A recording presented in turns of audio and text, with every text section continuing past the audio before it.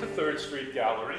Uh, we have two artist talks uh, with the shows for this month, uh, both of whom are long-term members of the gallery. Uh, the first is Connie Cone, who will be talking about her photography exhibit, uh, and then Jackie Ferretti, who will be talking about her oils, which are on the other side. So I will. Okay. Thank you. Thank you, everybody, for being here. This is fun, especially some people that I didn't expect to have as a guest, so this is great. Um, so what am I going to say about these photographs? Um, I've been a working artist since 1973, and I started uh, as a photographer working with um, 8 by 10 cameras, some 4 by 5, 8 by 10, 11 by 14, with giant tripods, which my husband would often carry for me, being a nice man. Um, and I printed in platinum palladium, which was a non-silver process that was quite popular and actually was popular at the turn of the last century and was invented in 1873 because it was a method that didn't fade and didn't fox. Uh, photographs in the late 19, 1800s um, often have brown spots when you look at them, and that's from the sulfur in the paper. And then the image, the images themselves would fade. So platinum was a wonderful way to print, especially with the kind of um, photographs that I was taking. A lot of still lives um, and landscapes, and some nudes actually. Um, and I started doing handwork on my photographs. and in order to do that, I needed to take a drawing class, which meant then I also took watercolor, which was not my greatest thing um, then more drawing, then oil painting. Um, and then I took some classes at Moore College of Art here in Philadelphia, um, and then got my MFA from the University of Pennsylvania in 94. By that time, I had stopped photographing, and I was working uh, mostly um, in charcoal at the beginning, and then um, with Sumi ink, essentially, and then more oil paint. And the work that I did then was based on First World War trench poetry. I'm a child of the Vietnam War, I guess you could say, and so the British trench poets, uh, the poetry is really heartrending, and it meant a lot to me as I read it, and so I, I would see images as I read it, and that's how the, that work evolved. Um, a few years ago, I had a 25 year retrospective of that work down in Delaware, uh, which was really exciting to see because you don't think you don't expect when you look back at 25 years that you can actually see the strains of the work from 25 years ago recurring over and over again through that whole 25 years. And even though the method changed, the medium changed, it was definitely I who was making those, those images. Um, and I was ready to go back to that at the beginning of COVID. And I started working on it. And I just couldn't I, I couldn't go down to my studio and work with this, these images that were so painful.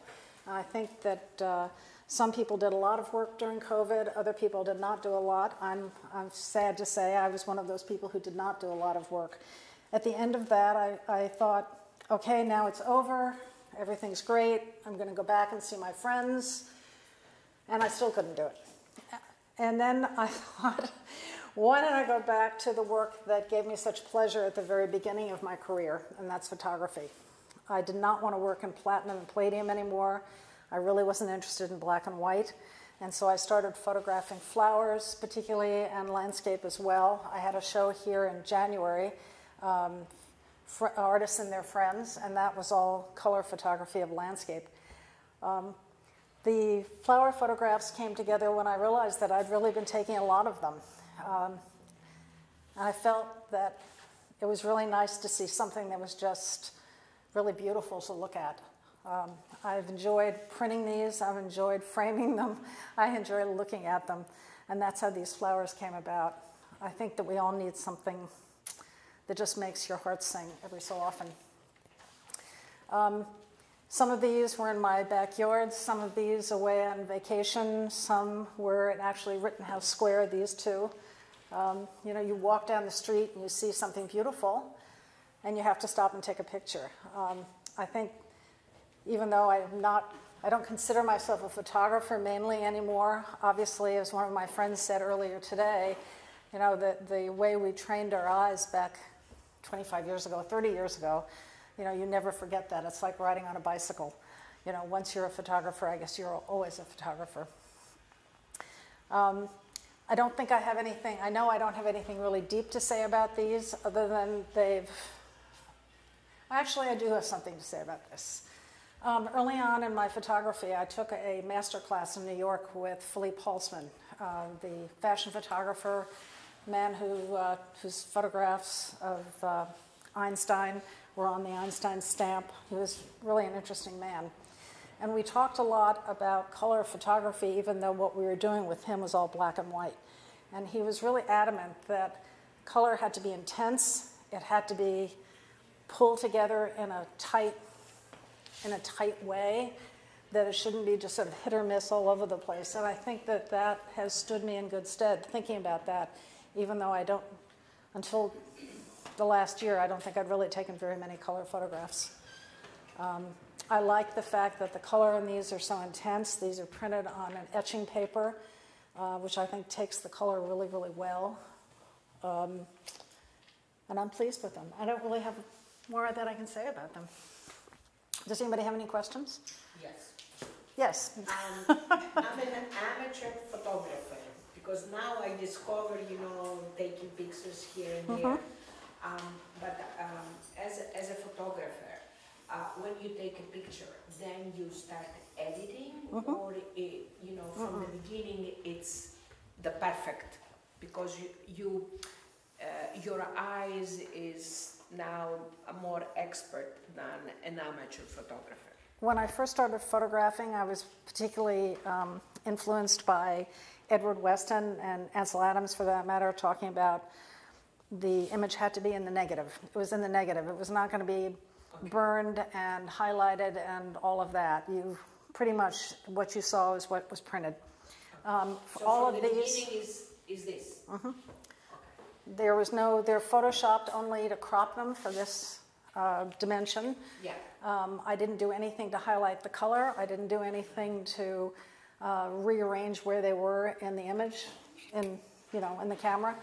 Um, they haven't been sharpened. What you see is what you get. So I have Yes, a Barbara. and a question. My first comment is, it does remind me of the paintings because of the amazing attention to composition and space, and it's beautiful. I Thank you. coming right through. And then the question may be taboo, but what kind of a camera did you use? An iPhone. I, was wondering, I was wondering. Yeah, I mean, it was it was funny because the photographs that I took in France last year, I had my Nikon with me, and they can't compare. I mean, it was really funny, and I don't know whether I'm not seeing it as well with a Nikon as I am with a phone. And again, they weren't cropped or anything. I think um, composition is something I've been dealing with since 1973. So I mean, that's that's what it is. So, and I, I think it's. I think I, I agree with you actually about what you said about that. In many ways, it's not that different from the work that I do, the other work that I do, even though it's a completely different medium. Oh, thank you. I still can't believe how sharp these things are. I was nervous about having them printed this size, and actually, they could be even larger. The um, they're, the the imagery is so sharp; it's incredible. Yeah, that's why I asked. Yeah. Yeah. Jackie, I was just asking about this one right here, the center, the white, this one, and right next to it. Yeah, that one. this one. I can't keep my eyes off that. It's gorgeous. Thank you. That was, uh, again, that was in my yard. And I kept looking at it, and um, I did flip that. I think that when I photographed that, it was pointing down, but I liked it better that way. The space and the, and the way the white and green. The greens, that, that's the thing that I, if you ask me a question about what's the color of the show, I would say green. I mean, it's just amazing the different colors of green from that really yellow green here and the light greens here. It's, yeah, the greens in that, yeah, that's my fish pond. Is that your fish? Mm-hmm.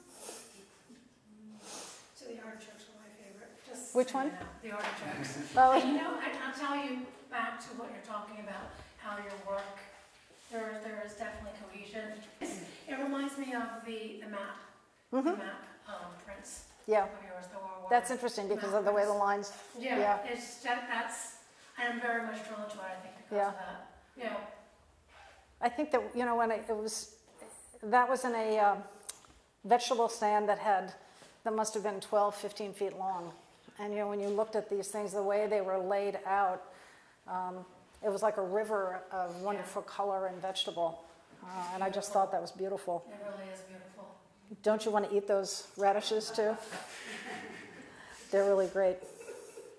The very first one was the one with the roses.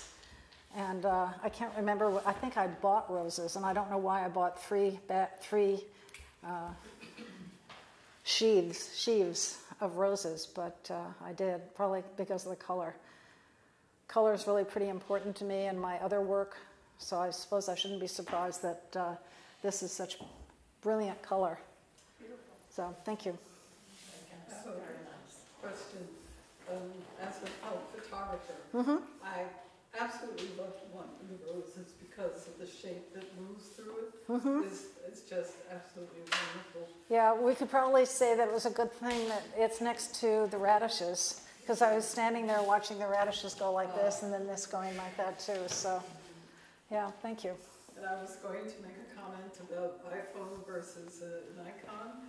Um, whether or not, as we get older, it's nice to see what you get on an iPhone Mhm. versus a raw file, which is not what you see. That's Uh, true. Essentially, so you have to end up to playing with it Right. until you get what you see. Well, you know, it was funny because when I first started photographing, of course, with a view camera, it's um, with a view camera, it's upside down, flipped, and everything. So you get underneath the black cloth, you know, and you're you're trained that you see what it's going to look like. And sometimes somebody will say, "Oh, can I get underneath the black cloth and see what you're looking at?" And they look at it and go, they're trying to go upside down to see it. It's really pretty funny. So I think that's it. Thank you.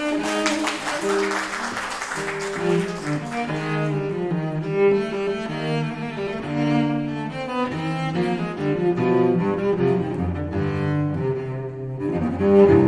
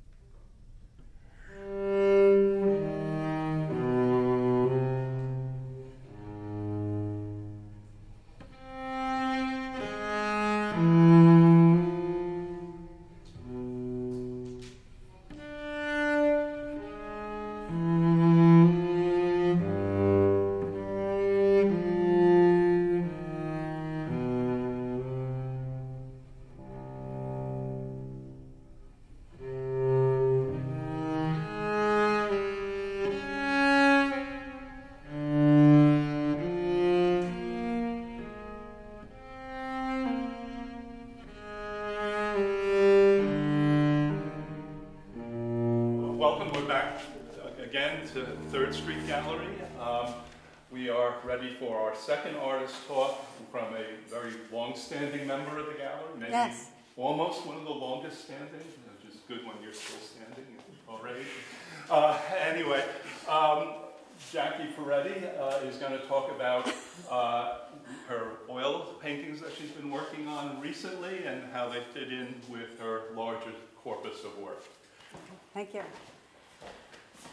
Okay, uh, this is very different, this group of work that I have here for this particular show. If you look at the title, there's an actual good reason for the title, Lines, Numbers, and Guests, because I started working with this piece, and I'm an abstract painting obvi- painter, obviously, And so you never know what's going to happen. You know, it's just the excitement of painting that way. I wasn't, uh, I had no particular object or theme or anything in, in mind. And I kept seeing the same uh, type of marks and lines. Some of the marks, uh, and I'll show you each one, which ones I'm talking about, but they some have letters and numbers. The numbers of five and three kept coming up, for instance, and different um, different marks that you could see a lot here that kind of go down in rows, all right, and this way. And when you come up closer to it, in here, uh, you can see there's a row of, of letters and lines that keep, uh, keep showing up. And I, uh, that, was, I, that didn't bother me as I was painting. I just thought, well, that's, that's okay, that's fine. But um, then I went to the next painting, and they kept coming up, and I thought, I'm working on a whole new painting, a whole new canvas. And I went back to my studio and I thought, and those lines are coming back, like they're just showing up. Like, this is a new painting. I don't, didn't ask them to do that, you know. So it was very strange for me. So I, um, so for instance, in here, this it's more subtle. Uh, uh, and the, the guests are so it was lines, lines and numbers, and guests were there were a lot of uh, uh, human faces, and some of them were kind of horrific and scary. And uh, so I was a little triggered by that and uncomfortable because I thought, why, why are these figures showing up? And then I accepted it, and then I, and I realized, just as uh, artists always do, you know, um, it's your work. Uh, you, you just let ha- happen what was supposed to happen and just go with it. And there's no reason to question it. It's simply what's going on in your head and how, and, and there's the, the diff- that's what happens, you know. So I went with it, and that's why I called them, I thought, they're guests, you know. I welcome you. You are my guest. Welcome. Be where you want to be, and, and that's okay, right? So uh, this one, it's little, this was an older one. This, this one, these are the only two that were, that were paintings that I had already done previously. The rest of them were all, these were all done the last few months. And, but I, after I was putting the show together, I thought, I went back to look at my other paintings in my house and I thought, wait a minute, the, look, the, there they are. This didn't just happen. You've been doing this. This has been in your work for a long time. and so that, that was it. So that made me more like, all right, then it's really just, uh, just part of the, what's happening. And, and this one was the, is one that was different in that there are specific things that I know that I was thinking about. I did not, again, I didn't know what was going to happen, just went into the painting. But I knew, I knew that I was upset about the, uh, the uh, people who were drowning, the children. Uh, they would find them, they would just drown off the boat, and, and they would just, you would find them everywhere from, the, from um, on the beach and everything, and, and it was just so horrific. It was, it was in my head when I was painting this, and so, so it just comes up. So I saw all of a sudden, I saw like a foot, you know, upside down, and this is a, a and again, like I realized after I painted it, okay, so this is a girl upside down, and subconsciously I, I was thinking that, you know, but didn't know it as I was painting it. But uh, here's one foot and one here. She's, she's falling down, and this is her hair and her head. And, um, and after I was finished, I happened to see that, oh, there's a boat right here. And, and people are behind it. And here's all numbers and digits all around here, here, here, all over. And, uh, and letters, like very uh, beautiful uh, exaggerated letters. You know, so I, and this also comes up row after row. And I also invite you when I stop talking, but if you want to, and I was doing this in my studio, but I have a, a here that you can actually see, really. Because I go, I go, that's really what I'm seeing. You know, th- these are animals and people, and, and they are surely there. It's not like you would make a mark and think, oh, if you kind of squint and look at it, it sort of looks like a cat. No, these are animals, like looking right at you. Okay? so, um, so you could see, when you, if you want to come up and, and kind of look that way, you could see the letters much more clearly. And um, this one is more subtle. I don't know whether you could tell, but, but it's, it's a face, and it's a, I, here's the two eyes, and the nose, and the mouth. Can you see that? Yep. Okay. And um, this one is hard to see, but there are a lot of anim- animals in here. And this one, if you look, look far away, this is a, there's a, a man's a silhouette of a man in there, and also cats and things, you know. And let's see, this one, which I call Portal, um, just had the same feeling, you know, the, of the other paintings. It had the same kind of a look, you know. But uh, it, re- it reminded me of a door, you know, and uh, it also has the same marks all over it. You know, the same kind of little digits and marks going up and down. And if you look really close, um, there are little kind of squared off areas that look like those little silhouettes of like you're looking at in a window or something, and there's a whole vision of somebody in their living room. You know, like there's there's like there's the little stories in each little space. So, and I and I just I remember when I made that I, I for some reason I, I really loved the figure and my friend Mary Beth kind of laughed at it. She said it's a what did you say it was a pickle or something? Yeah. she says, well it's a pickle. I said, The shape of it. the shape of it. okay. but, but I really like the shape of it a lot. You know, I was really enjoying that. Now this one, if you really use this, you, could- you could really see um, the textures of, of faces and animals uh, when you look really close all over it. Um, but I, I really loved this happening because you could see the same digits coming up and down, and that they just keep running all around it, you know. And um, but I, I'm, I really love texture. I love working with things and having a lot of feel to it, you know. And this one is um, a little bit different. Um, so before the black painting went on, it, I painted red, and I loved the fact that because I didn't want the red, I thought red was too bright and bold. so, so I painted it, but it wants to be there. So it's in certain light. I mean, I thought, wow, you could see the red. It's it's still there. It's still there, whether I want it or not. It's coming. You know, it's going to be there. And then I love all these little different lines and everything that, that were like these textures. And this was the the last one I did, and um, it's it's the most simple one, and uh, I you know I thought of a nest, you know, with it, a, a bird's nest, like this is the nest, and, and this like these are birds, you know, just floating, and I'm obsessed with birds, so I wasn't wasn't uh, you know uh, surprised at that. But I felt like uh, with every, all the anxiety that I was having with the rest of them, but, but coming to feel better about it and, uh, and appreciate it, what was going on. And this was like, this was, this was kind of, it's, you don't see all that here. It's kind of, it's cal- it calmed down. It's like, it's just a calming force at the end, you know. So everything's oil, and um, Oh, I didn't, I, I forgot to just go a quick background.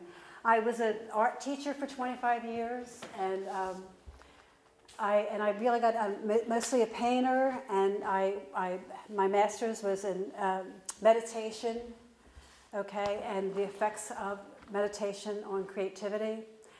And I did a lot of study with um, Zen Mountain Monastery, where, I, where I'm a, a, a member, and they, um, there's so, so much about when you're doing your art and how you're thinking about and how you're understanding it, which I've learned from just practicing Buddhism. I, I also am a found object artist, and, and I like things like that that you can just redo and find in the trash and so forth and make something out of it. And, but if anyone has any questions, I'd be glad to answer them. I do. Jackie, so when, I presume as you paint, you're wiping? Wiping? I, I squ- uh, not as I'm paint. Well, back and forth, back and forth. Yeah, yeah. I do. I did. I do an awful. I love to scrape, and I, I yeah. That's interesting. Yeah, like especially this, I, I love to scrape and almost, it's just the texture of it, I, and really lit it with my fingers and scrape and, and take everything apart, put paint on it, take it off, totally destroy it, and start all over again. It's like, oh yeah. There's no tool in my studio that is safe.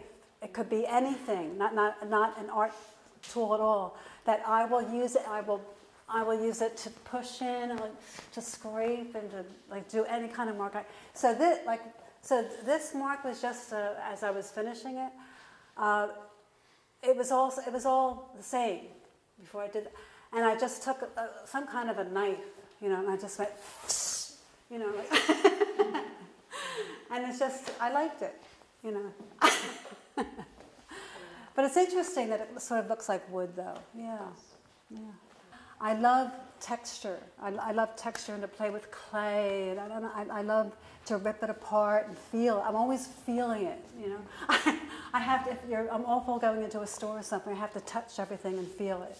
I don't want anything to. Be, uh, the worst thing would be, oh, it's cute, you know, or something. Or it's it's what everyone would think it should be, you know. Like, all right, I won't do it, you know. I'm afraid of that sort of thing, you know. Well, thank you. Thank you so much. It was very nice